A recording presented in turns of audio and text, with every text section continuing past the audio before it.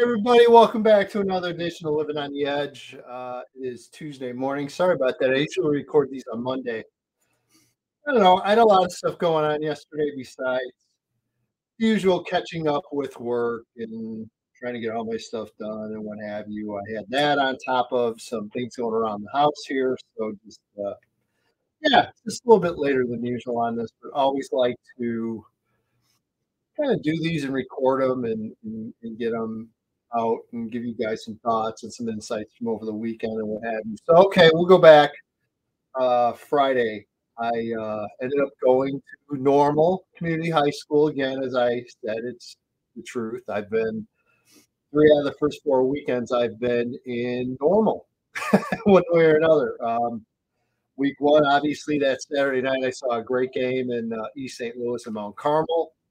Uh, then I went back following week on Saturday during the day for what turned out to be a very good game. We got a chance to color on uh, WJOL with Coach Joe. So we did that. Uh, that was uh, O'Fallon taking on Lincoln Way Central. And then obviously back Friday for what turned out to be a great game and kind of everything I thought it was going to be a normal community.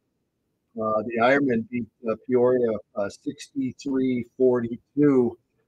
And, and, it was kind of a strange game. We'll get into it. Um, first of all, out to normal community AD Nick Kier, Kearfott, Kearfott, I believe. Uh, A E A R F O T T Kearfott. Uh, thanks to Nick. Um, amazing hospitality in normal community. Everybody's great. Um, great to see some old, old faces as well. Um, just had a blast. Uh, yes, I did have a pork chop thanks to uh, Nick Kearfott, and uh, amazing, amazing pork chop sandwich in normal community. That's all I, I can tell you. That is my ringing endorsement. It is outstanding.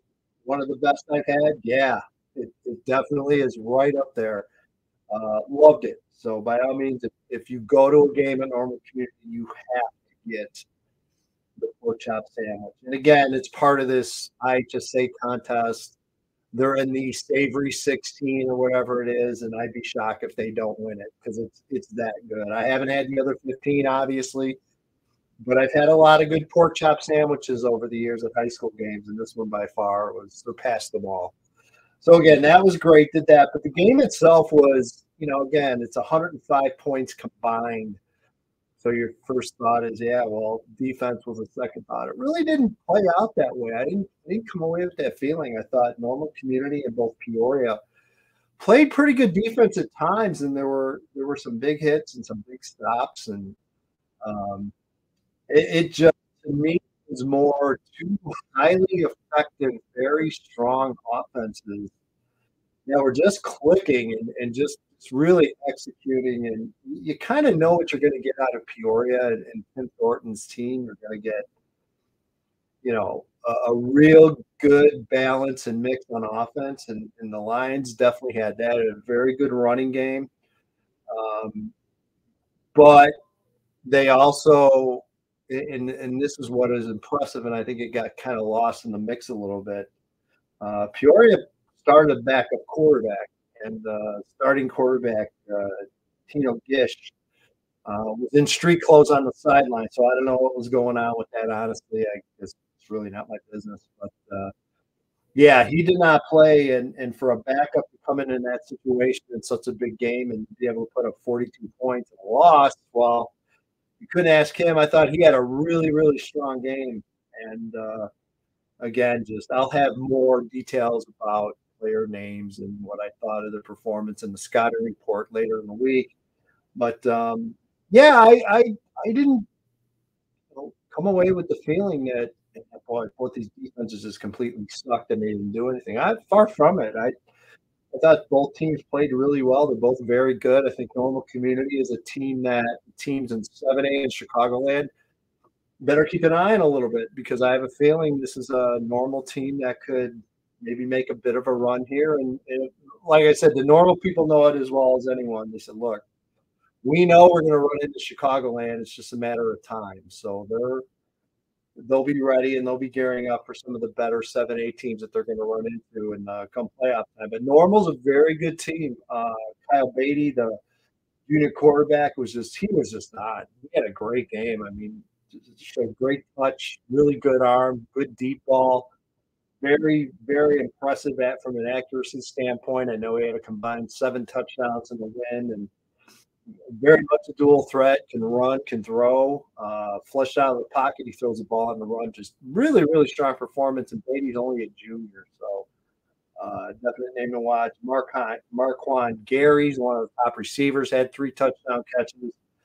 Um, and, and, what impressed me is that this is a normal community team that was able to answer punch to punch, blow for blow against Peoria, which most teams don't. You know, most teams end up falling behind. You know what Peoria is going to do. They're they're going to obviously they want to want to score quickly, and once they go to kick off, they're going to onside kick every time, which they did against Normal. Normal handled it and and was well coached and well prepared. So again, just had a, a really good game. I love the Big Twelve for a couple of reasons. Number one, no sophomore games on Friday nights. Yeah, I know. Don't get me started. I'll start venting about playing sophomore on Friday night. Whatever. Sophomore save your save your anger. It's fine. I won't get into it. But the point of that is it's a seven o'clock kickoff in the Big 12. They're kicking off at seven o'clock. It's beautiful. So uh, it'll go down to normal. Again, a little over an hour from my house, cover a game, get back in the car, drive back. I was back before some of the games. Some of the games up here were still going on. So it's, it's it, it was just uh, just a really good trip on Friday. So I really enjoyed that game glad to see it too. Got a good eye of, of Peoria and believing the Lions are going to be just as dangerous in 5A as they've ever been. Um, also got a good look at normal community, which again, this is one of the better normal community teams I've seen in some time. So it's going to be fun to see these plays. Wouldn't be shocked to see them make a pretty good run in 7A. Um, then Saturday, Saturday, I ended up going to Duchon Field uh, on the shores of uh, Lake Ellyn and uh, saw the opposite, saw a 13 to 10 game. So Friday I saw 105 points combined. Saturday I saw 23 points combined. Uh, Glenbard West somehow, some way, hangs on and beats Lions 13 to 10, and it was a wild game. Um, first of all, you know, you see the reports, oh, you know, Glenbard West has a lot of injuries. Look, they have a lot of injuries. It, it's no joke. I mean, you know, it.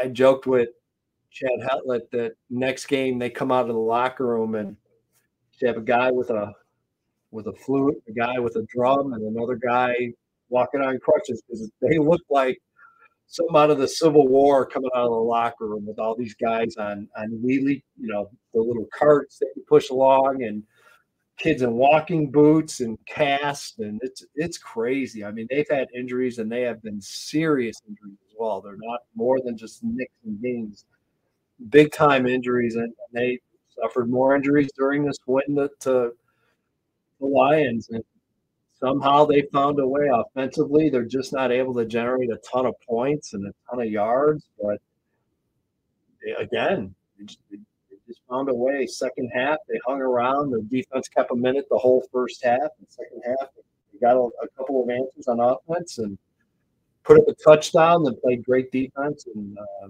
again, blocked uh, blocked a field goal attempt by Lions at the end of the game that would have won it or actually would have tied it, would have tied it at 13, and um, Ben Cesario blocked the second one. So um, they hold on for the win. Um, I don't know what's going to happen to Glenbard West the rest of the year, honestly. I don't know if they're going to find a way. They're at two and two now. If they're going to find a way to scratch out five wins, I think it's possible.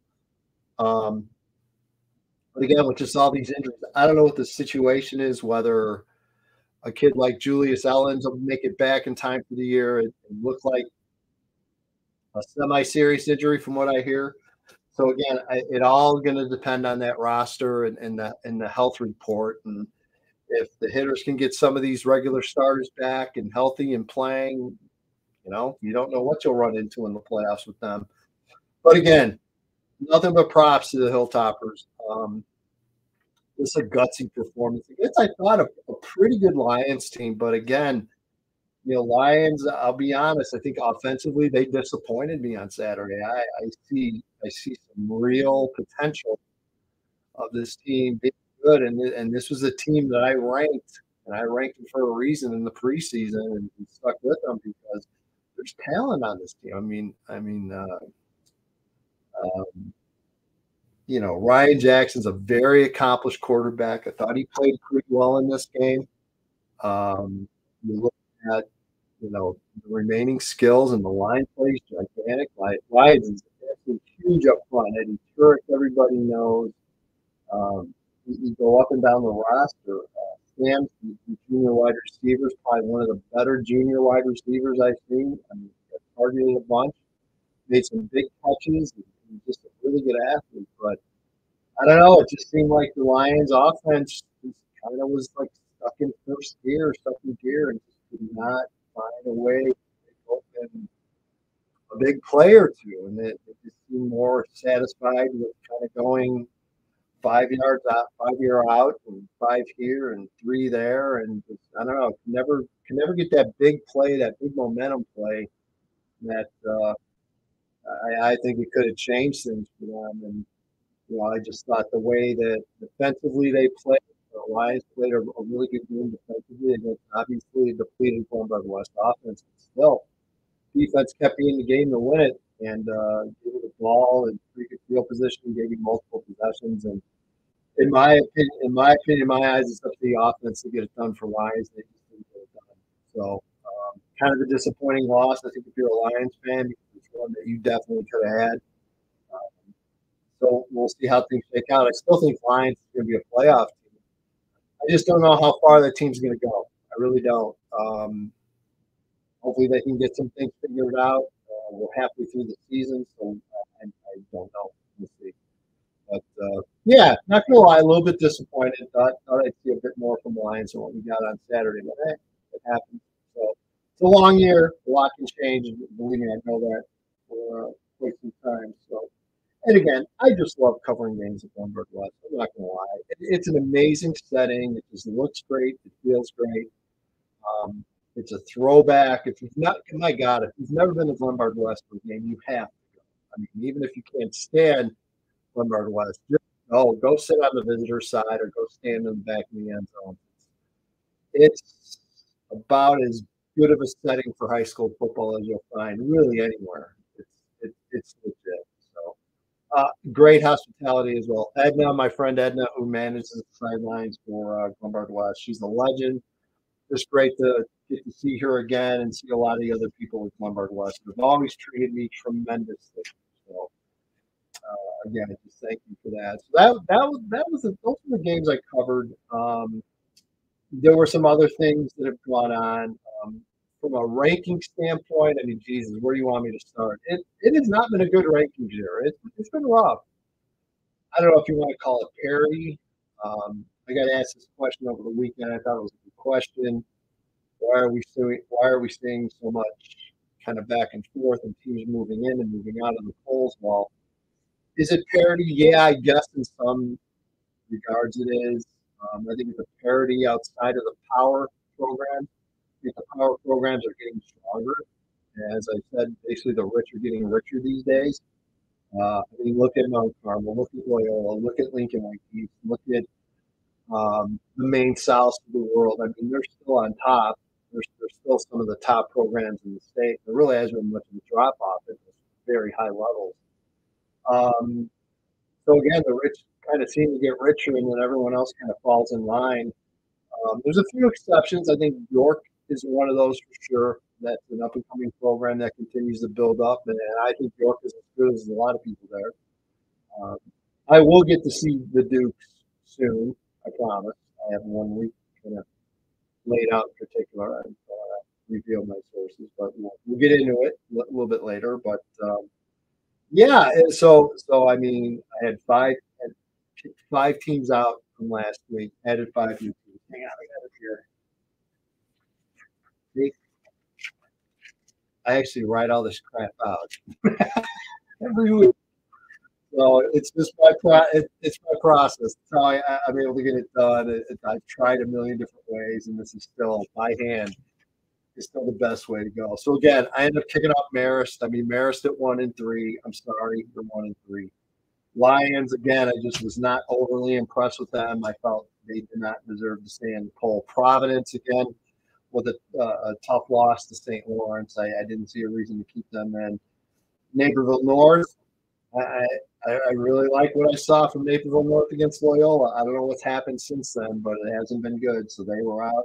And, uh, Lincoln Way Central and, and Lockport both lost. So they they end up having to uh, be shown the door at least for now.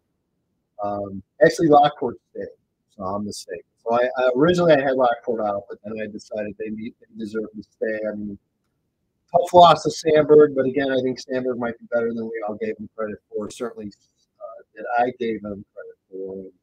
So I decided to keep Lockport and Lincoln Way Central out after their loss to a rival Lincoln Way West. So, um, the new school's in, as I mentioned. Montini gets in at 30. I just think it was time. Montini's 4 0 the big win for them over the weekend. And, and again, nice to have the Broncos back in the rankings. It's been a while.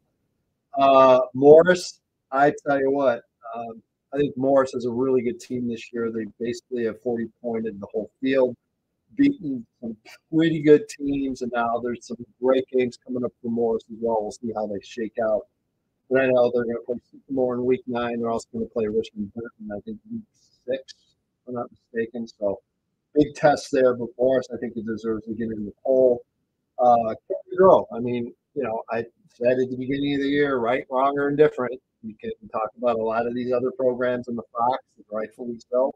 Well, it, comes down to me, brass tacks. I'm going to go Prairie Ridge, Cary Grove, and everyone else after that. And it seems to be working out that way. Um, Sandburg just earned their way in. I mean, that, that's a quality win over Lockport. They're three and one now, and you know, um, Tim, uh, Tim Troy, jokingly call him Tim. Troy McAllister has done a terrific job at Sandburg, and and you're just kind of waiting for the Eagles to, to, take that next step, and maybe that happens this year. I don't know, but um, they have been able to pull off some big wins since uh, McAllister's been in charge there for sure. hopefully it means that more and more of those kids and those families are buying into what he's trying to do there at Sandburg. And then uh, our old friends in Neuqua Valley, and, and again, I I have tongue in cheek joke and kid about this when I say I give up on Neuqua. I can't figure them out. Well, I can't figure them out. It's pretty obvious if you look at the polls, but I, I guess I take a little bit of solace. I don't think anyone else can figure things out in the page either.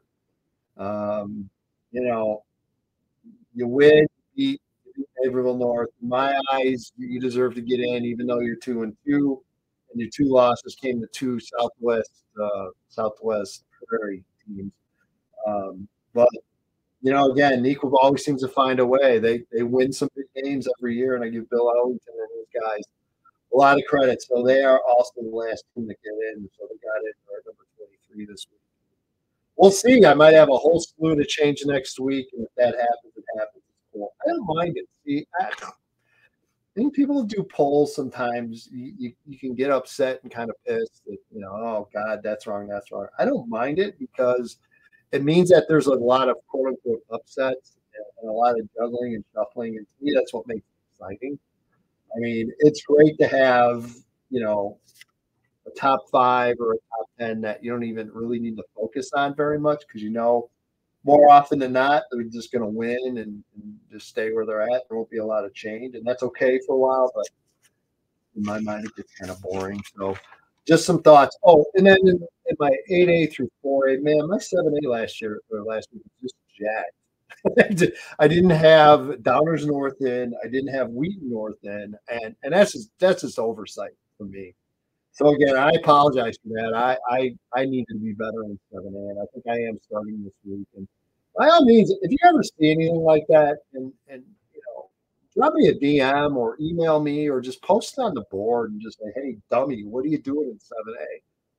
More than happy to, to look at things and get things fixed and corrected because there, there's no excuse for that. That was me just screwing.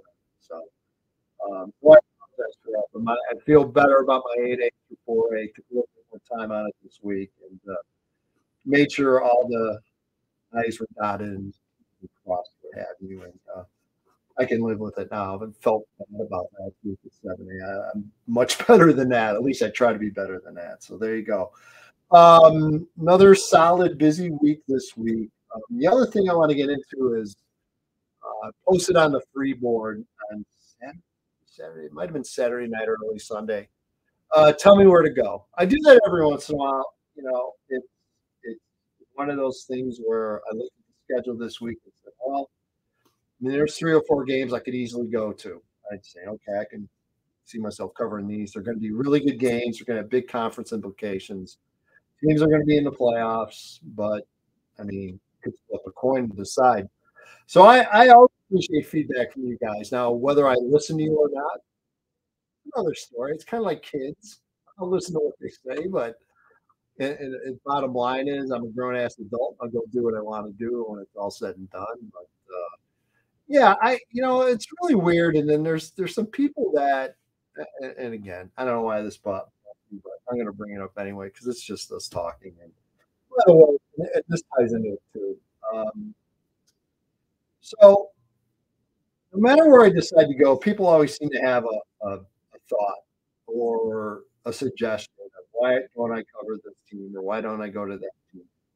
Um, there's no pre no predetermined plan where I'm going. I think they make that pretty clear. I go week to week, and I, I for the best game I can possibly go cover and get to. Now, in one rare off instance, there's something going on with my family or something I have happening that day or that night that limits where I can go from a travel wise. I'll, you guys know.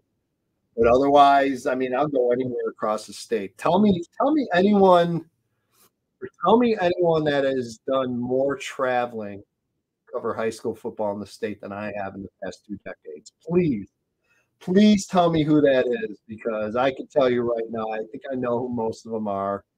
Uh, I don't see them anywhere. I don't. There, there are people out there that claim to be quote unquote the number one source and expert that don't go to football games on a Friday. They don't go. They do go. They go for a quarter and then they go home. I don't get it. I never have. But uh, again, I'm not going to get into it. It's you know what I, I, worry about my own stuff. Um, there was someone on the board talking about well, and, and, and this is one of my favorites. Well, Edgy never goes. No, that's bullshit. Complete bullshit. Go through my stories. Go through my game coverage because I do, and look at where I've covered games over the last five to ten years and I can guarantee you those games have been quote unquote north or northwest of let's say Chicago. Okay. When I've been in Chicago. Now the thing to understand is up until a year or two ago, I had TV responsibilities that kept me in Chicago. I don't have that these days. I, I hope to have it someday. I don't have it these days. So I'm free to go basically where the hell I want to go on Friday night. And why I was a normal on Friday, and hence why I'll be guaranteeing you downstate later in the regular season and into the postseason. I don't need to stay in Chicagoland if I don't have to. So if I can find a better game in the Quad Cities, if I can find a better game up in Rockford, if I can find a better game down south in the Southwestern Conference, I'm going to go and cover it. That's what I love to do. That's the best part of what I do that I can determine where I want to cover. Um, really at this stage, I'm getting to the point where I care less and less of what you think. it might sound really harsh, and um, I think I care about what the Edgy Nation audience wants. And I think now I'm going to start asking them more directly and say, hey, where do you want me to cover? Because I mean, bottom line is, free board guys, you're wonderful and we love you, but in the big scheme of things, don't matter a whole lot. Um, and again, it's not to be knocking or ripping or disrespecting. I'm not at all. It's just that, you know, the free board, I'm, I'm one of the few sites left on Rivals that still has a free message board. Um, people have all kinds of false, incorrect theories about why I still have a free message board. The reason I still have a free message board because I still have a, a, a very loyal audience fan base that is still out and active. And 90% of the plus people out there active on the boards are very good on the boards. And bring up great topics and bring up great discussions. Um, one of those, um, and I want to point this out, is uh, Eireog, and I'm sorry, Eireog, E I R E O G, uh, longtime poster, posted a link and a story about the uh, the shooting and the murder of the young man uh, outside of the Hillcrest Friday. It was a great post, and again, Edge, I know these threads go south quickly. I'm sorry, but those that want to do experience games need to get the message of what's going on out there. Basically, talking about violence in and around high school football games, high school events in general. It was a great post, and he, and he linked in the story from the Tribune. Um, and I, I replied back and said, "Look, I, I agree 100 percent with this sentiment. But what happens is it all political.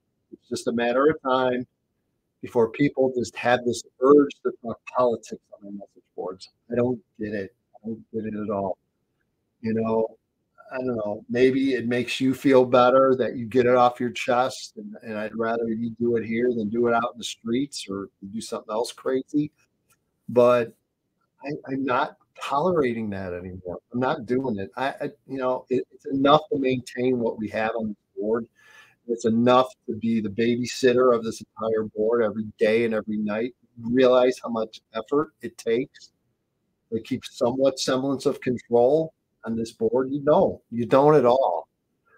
And then when we start throwing politics and people start talking race and religion and everything else, I'm so done with it. I, I don't even like even in my personal life with with politics and what have you. I'm just sick of it. I'm just sick of every discussion uh, veering into politics and the left versus the right and everything else. It, it, it does not belong on, on the free message board for high school football. It doesn't. It doesn't belong on the pay board football. It doesn't.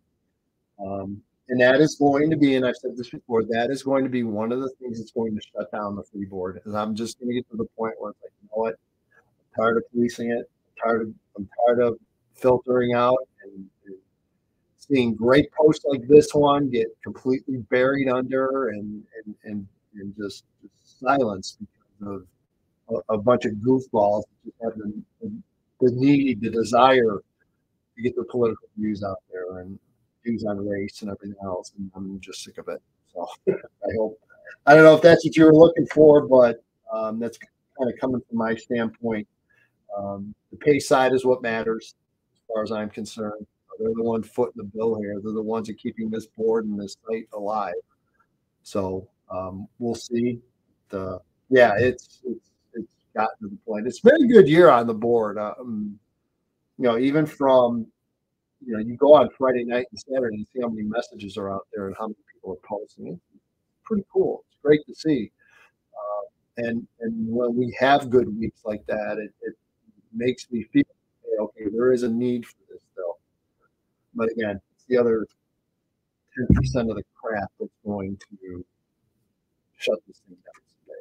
But again, still have a little bit of a thought left. And so far, so. This week, um, again, I asked you guys where to go. I'm going to make that decision today. Um, I'll tell you right now, I'm thinking probably Prairie Ridge, Cary Grove especially since Prairie Ridge is going to wind up in five and Cary's going to wind up in six. So they'll both go their own separate ways come playoff time. I think that makes a difference. Um, the other one I'm considering obviously is Warren and Lake Burke. Um, giving that one some thought as well, but we'll uh, we'll see. I'll post that later today where I'm going in. Saturday, I'm not sure. I got to look at the Saturday schedule. I might I might wind up in town and go see Joliet West. Joliet West is off to start. I know the game, but it's close. So we'll see. Uh, but that's going to do it. So again, thanks everybody for uh, watching and tolerating and everything else. If you have any questions, yeah, me. Um, post them on the board, email edgerton.com. And uh, stay tuned. Lots of stuff coming your way. Have a great week, everybody.